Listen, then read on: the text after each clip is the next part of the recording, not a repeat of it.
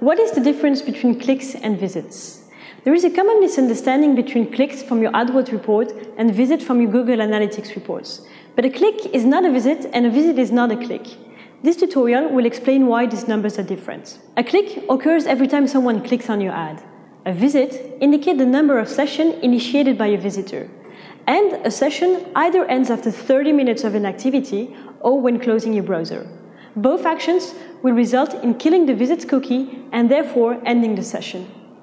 There are several reasons why your number of clicks may differ from the number of visits. In some cases, you will have more clicks than visits. This is the case, for example, when a user clicks on multiple ads during the same session, resulting in multiple clicks but one visit. It can be that the user clicks on an ad and immediately quits the page without giving time to the Google Analytics tracking code to load, resulting in one click but zero visits. You will also have one click and zero visit if your landing page does not load due to an error. In some other cases, you will have more visits than clicks. This is the case, for example, when the Google system recognizes invalid click and filters them out of your AdWords report.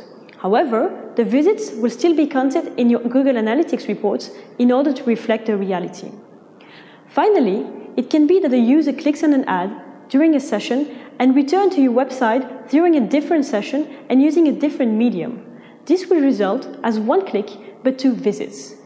I hope this tutorial helps you make the distinctions between click and visits and better interpret your data. For more, subscribe to Semetis YouTube channel.